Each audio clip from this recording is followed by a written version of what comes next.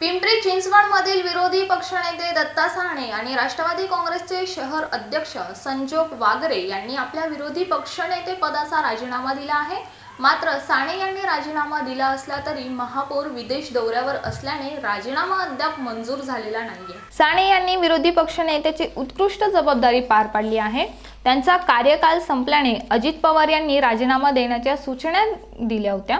त्यामुळे दत्ता साने यांचा विरोधी पक्षनेते पदाचा राजीनामा स्वीकारला असे संजोग वागारे म्हणाले. पिंपरी चिंचवड महापालिकेच्या सार्वत्रिक निवडणुकीत राष्ट्रवादीला सत्ता गमवावी लागली.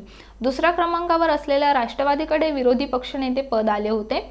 पक्षातील जास्तीत जास्त सदस्यांना संधी मिळावी या हेतूने एका वर्षासाठी नगरसेवकांना विरोधी पक्षपद देण्याची संधी राष्ट्रवादीच्या पक्षश्रेष्ठीकडून घेण्यात आली होती. ते आता शेवटी तुम्ही म्हणताय आता मला काय तसं सांगता येतं नाही पण शेवटी प्रत्येकाच्या मनात काय चाललं हे मी सांगू शकत नाही. की बाबा समोरच्याने कुणी काय माझ्यासाठी कुरघोड्या केल्या असतील तर मला माहीत नाही पण अपेक्षा अशीच होती की बाबा येणाऱ्या विधानसभेमध्ये या सभागृहाला वटणीस आणण्यासाठी किंवा ह्या भाजपाला वटणीस आणण्यासाठी एक खंबीर नेतृत्व या खुर्चीवर हवं होतं. त्या माध्यमातून ते असावं अशी माझी पण मनोमन इच्छा होती. आमच्याही काही नगरसेवकांची तशी इच्छा होती की बाबा तुम्ही दोन महिने या या पदावर राहावं. कारण उद्याच्या येणाऱ्या निवडणुकीमध्ये किंवा विधानसभेच्या निवडणुकीमध्ये यांचे सगळं काळबेरप काढणारा काढण्यासाठी तुम्ही सक्षम आहात असे माझ्या बऱ्यापैकी नगरसेवकांचं म्हणणं होतं. पण आदरणीय आमच्या पक्षश्रेष्ठींचा ज्यावेळेस आदेश येतो आम्ही पक्षश्रेष्ठींना मानणारी मंडळी मंडळी आहोत.